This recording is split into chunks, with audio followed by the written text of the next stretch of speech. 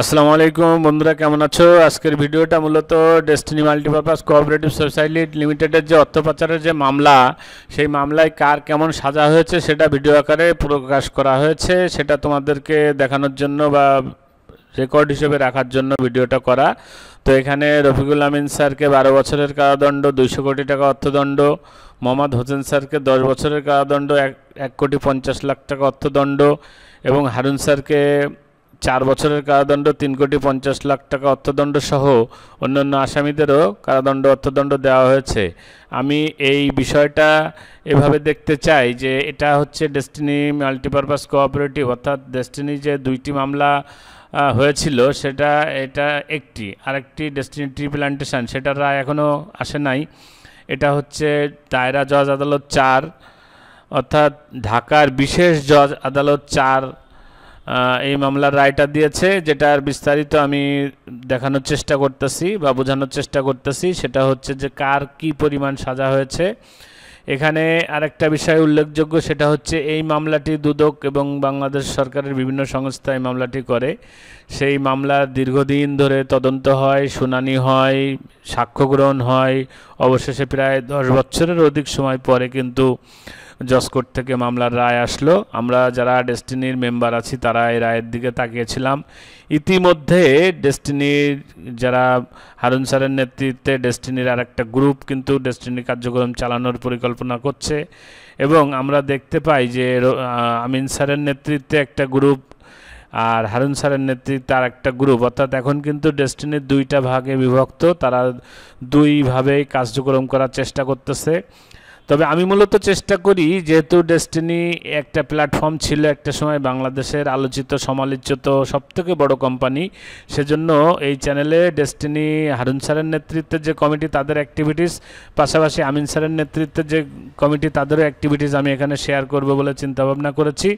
সেক্ষেত্রে নেক্সট ভিডিওতে এরকম কিছু থাকবে, যেখানে বিভিন্ন রকম তথ্য উপাত্য পাওয়া যাবে। যারা প্রমাণ করতে চায় রফিকুল আমিন স্যার দুর্নীতিবাস তাদের পক্ষে যেরকম তথ্য উপাত্য থাকবে, পাশাপাশি তাকে দুর্নীতিবাস থেকে পরিত্রাণ করার জন্য যে তথ্য উপাত্য সেগুলোও কিন্তু এই চ্যানেলে পাওয়া যাবে। ডেস্টিনির এ টু জেড পাওয়া যাবে এই চ্যানেলে। তো অবশ্যই চ্যানেলটি সাবস্ক্রাইব করবেন, আর পাশে থাকবেন। ভালো লাগলে অবশ্যই শেয়ার করবেন, না লাগলেও দেখতে থাকেন, কারণ দেখতে দেখতে এক্সট্রা সময় ভালো লাগা, ভালোবাসা তৈরি হয়েই যাবে।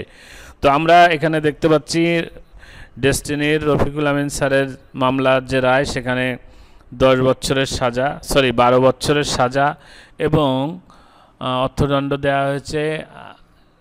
তারপরে হারুন স্যারকে চার বছরের জেল, তিন কোটি পঞ্চাশ লাখ টাকা অর্থদণ্ড দেওয়া হয়েছে। হোসেন স্যারকে দশ বছরের জেল, এক কোটি পঞ্চাশ লাখ টাকা জরিমানা করা হয়েছে।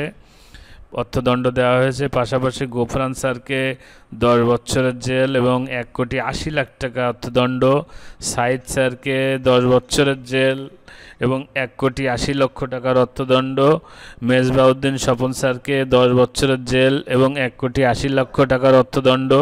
পাশাপাশি সাজ্জাদ হোসেন স্যারকে নয় বছরের জেল এবং তিরিশ কোটি টাকার অর্থদণ্ড, ইরফান আহমেদ সানি স্যারকে নয় বছরের জেল এবং একশো পঞ্চাশ কোটি টাকার অর্থদণ্ড।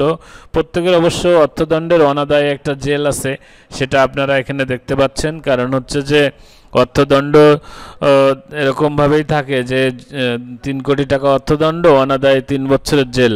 আপনারা কিন্তু এখানে দেখতে পাচ্ছেন যে অর্থদণ্ডের পাশাপাশি সেটাও কিন্তু উল্লেখ করা আছে।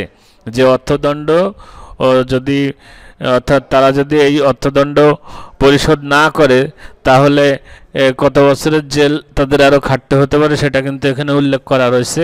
আপনারা দেখতে পাচ্ছেন যে প্রত্যেকের অর্থদণ্ডের পাশাপাশি সেখানে কিন্তু অনাদায়ী কয় বছর জেল সেটাও কিন্তু উল্লেখ আছে। আপনারা এটা দেখতে পাচ্ছেন। পাশাপাশি আমি যেটা বলছি সেটা হচ্ছে যে ডেস্টিনি মাল্টিপারপাস কোঅপারেটিভ সোসাইটির এটা একটি মামলা। এই মামলায় রায় ঘোষণা করা হয়েছে, আরেকটি মামলা আছে ট্রি প্ল্যান্টেশন মূলত ডেস্টিনি কোম্পানির সাঁত্রিশটি অঙ্গ প্রতিষ্ঠান আছে, ডেস্টিনি দু হাজার লিমিটেডের, তার ভিতরে এটি হচ্ছে দুটি।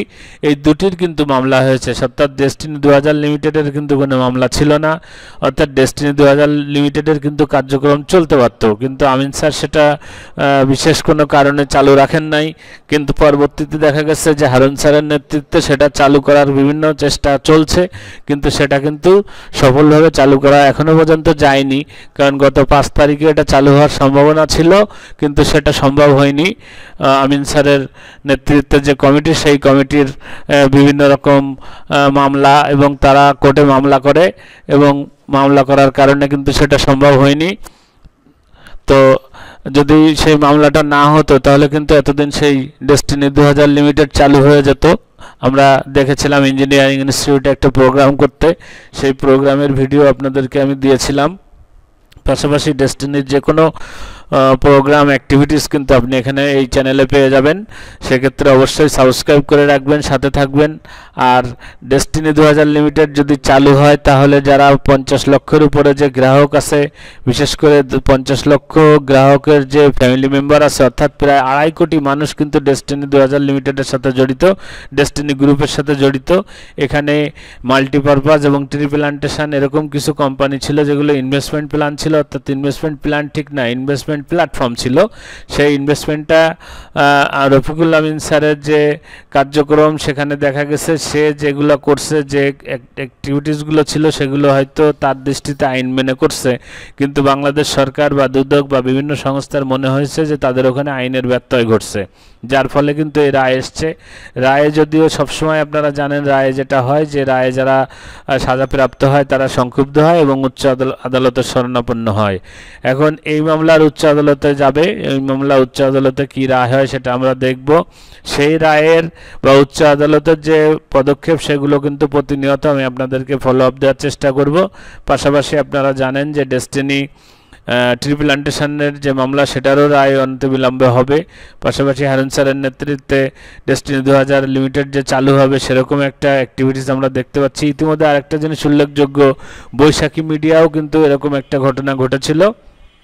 সেখানে কিন্তু বর্তমান পরিচালনা পর্ষদকে বৈশাখী মিডিয়া বুঝিয়ে দেওয়া হয়েছে, অর্থাৎ কোর্টের মাধ্যমে কিন্তু তার বর্তমান পরিচালনা পর্ষদ সে রায়টা পেয়েছে।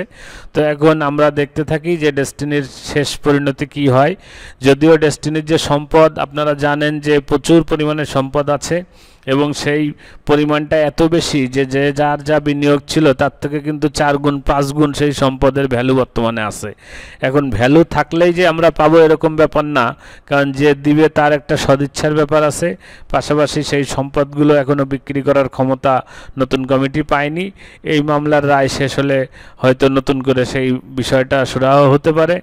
তো এখন দেখার বিষয় যে পরবর্তী ঘটনাগুলো কি ঘটে, হাইকোর্টে কি বিষয়টা কীভাবে আসে, পাশাপাশি আমিন স্যারের নেতৃত্বে যারা কাজ করতেছে তারা কি অ্যাক্টিভিটিস করে, আর হারুন স্যারের নেতৃত্বে যে গ্রুপ কাজ করতেছে তাদের অ্যাক্টিভিটিস কি হয়, সব মিলায়ে আপনারা কিন্তু এই একই চ্যানেলে দুইটা পক্ষের এই সমস্ত বিষয়গুলো পাবেন, কারণ দুই পক্ষ মিলেই কিন্তু একটা পক্ষ, সেটা হচ্ছে ডেস্টিনি গ্রুপ কেউ কিন্তু ডেস্টিনির বাইরে না।